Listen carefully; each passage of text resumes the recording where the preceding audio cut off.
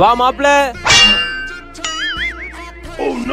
என்னடா நீ மட்டும் இவ்வளவு கிசால இருக்க? இந்தா நீ வந்து கிசாவா அனுபவி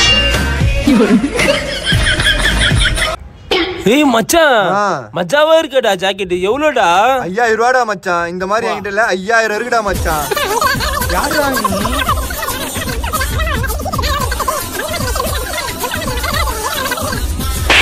அக்கா, வாயை திறந்தாலே பொய் புலிவுனே இருப்பியா?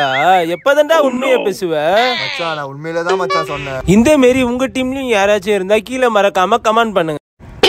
மச்சான் கூலி பொண்ணு கூறா இல்லடா.